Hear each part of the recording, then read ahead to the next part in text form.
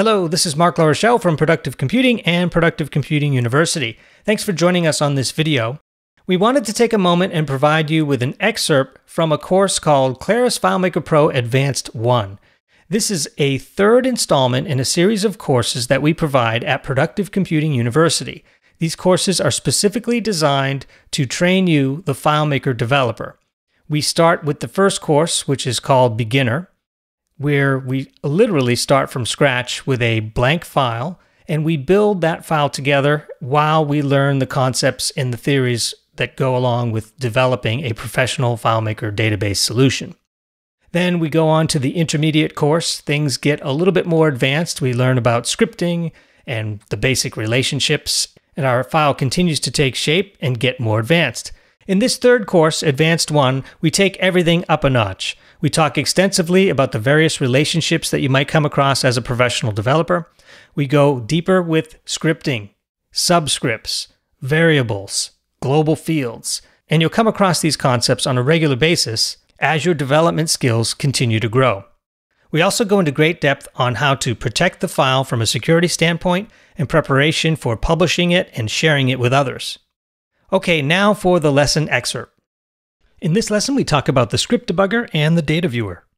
Back into the PCU Gaming Company file, I think a good script to debug would be one found in Invoices, so let's go to Invoices, and we'll focus on this View PDF. So turning on the script debugger is easy. Just go to the tools and make sure script debugger is active. If you don't have this option or the tools option, it's likely because you haven't turned on your advanced preferences. So within FileMaker, you want to target the settings and make sure you're using Use Advanced Tools. Select that, push OK, quit FileMaker, come back in. The Tools menu will be available along with all these additional options. When it's time to get serious about development, you'll need these tool options here, most notably the Script Debugger, which is what we're talking about in this lesson. Okay, let's turn on Script Debugger. So I'll go to Tools and select Script Debugger. And there are several controls to be aware of. You have the edit option, which allows you to edit a script that you're currently debugging. This plays the script. It will continue on until it reaches a breakpoint, or it's told to pause on error. But in any case, this will run the entire script, including subscripts. Then this is the halt script. This will stop the script immediately where it stands, and it will not continue with any additional script steps. And I can hover over any of these to see the tooltip. This is the step over function, and notice that it's triggerable by the F5 key, controller key above your keyboard there. So step over. Let's go take a look at the Claris help file, what it says about this. Step over will execute the script one step at a time without entering subscripts. And that's what it means by stepping over. It means stepping over the subscripts. And a subscript is simply another script you call from within the main script. So you could have a script that says create a new contact, but then you could have a subscript that says record a log file for every new contact created. That would be a subscript. If the script step is perform script, the script debugger will execute the subscript and proceed to the next line of the calling script. So even though it's step over, it just means that the debugger is going to step over the script, but the subscript itself will in fact run. So that's a really key thing to understand about the step over option.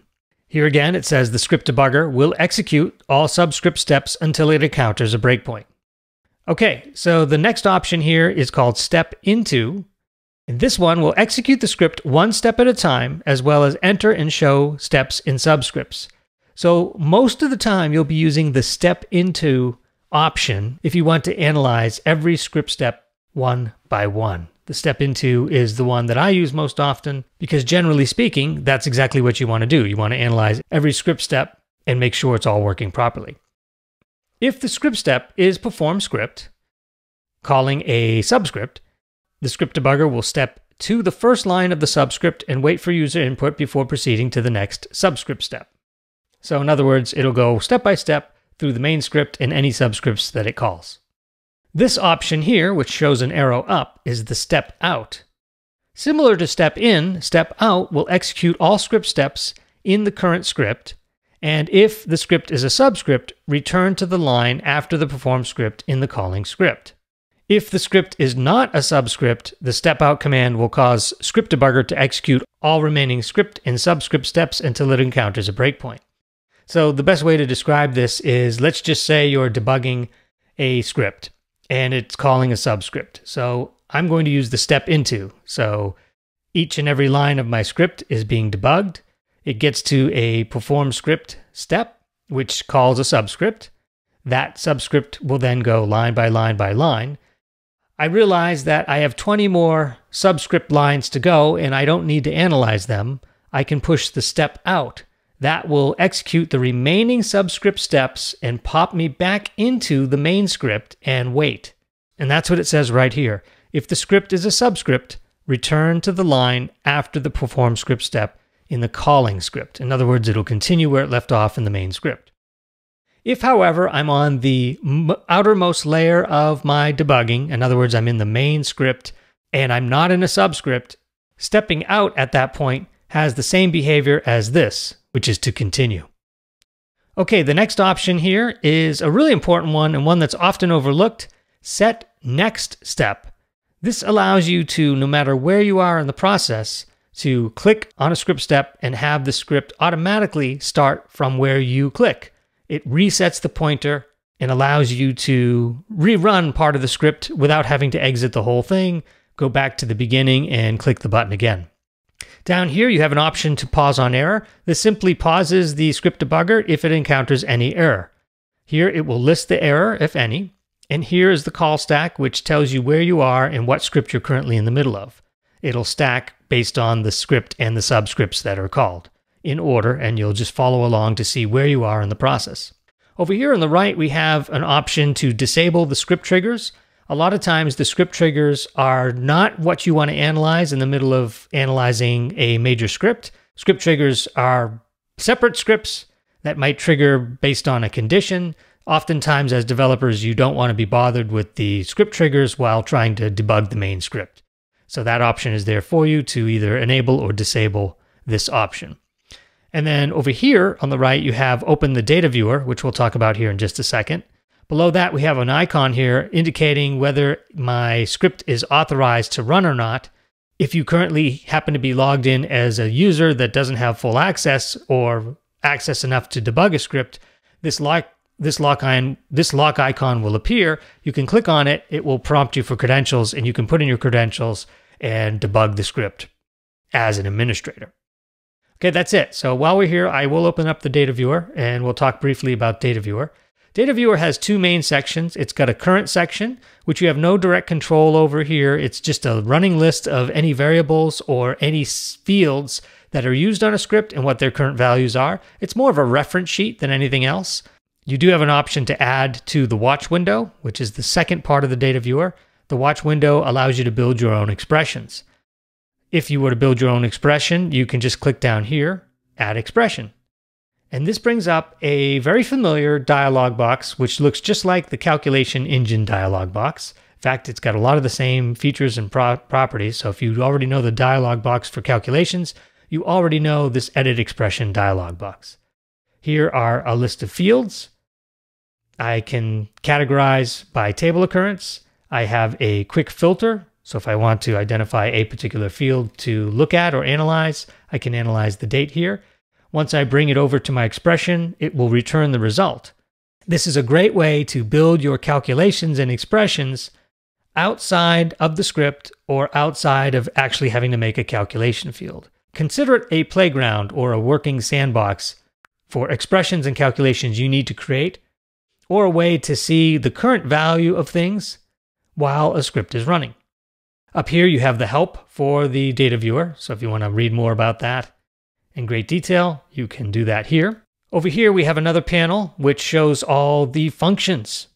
And this works just like the calculation dialog box, as I already mentioned. You have a quick search here for a specific function. So if I want to see something to do with average, I can do that here. And I can put that function within my expression and add it here at any time. I can filter by type here. And when I select a function, it gives me a brief description. And best of all, it allows me to click on this question mark, which brings me to the online help for that function, which I still use today all the time. What I love about the help at Claris is they tell you briefly what it does, some things to be aware of, the parameters it takes, the version that this originated from. So if you're doing some backwards compatibility programming, you can be sure that this function is supported by the users that might be using a slightly older version of Claris FileMaker. A description, some notes, and oftentimes good examples to get you started with how a function might operate. Then below that, it, it generally has some cross-referenced items that you can also research related to this particular function. There are many, many functions here in the world of the Claris platform. A lot of them are standardized. If you are really good at Excel, for example, and you're used to summing things in Excel, you have a sum function here in FileMaker as well, and they work very similarly in theory. So a lot of this is just basic mathematics, and the functions are created both to do math, other advanced calculations. There's a whole series of get functions here as you can see, to get the current status and conditions based on your system and the user logged in. And this is a great way to really learn functions. Just spend a lot of time here in the data viewer, have some fun, experiment. You'll learn a ton of stuff. So that's the data viewer. Another way to get to the data viewer is directly under the tools menu. And also note that the data viewer persists on top of everything else, which is exactly what you want. Both the data viewer and the debugger will sit on top of a script. That concludes part one. Join me in part two, where we actually debug the script and do some light analysis with our data viewer. Well, I hope you enjoyed that lesson extract from the course called Claris FileMaker Pro Advanced 1. To find out more, go to productivecomputinguniversity.com, where you can enroll in this course along with many others training you on the Claris platform. If you are interested in taking multiple courses, it might make sense to invest in the Productive Computing University bundle package, which is one yearly price to gain access to the entire university library.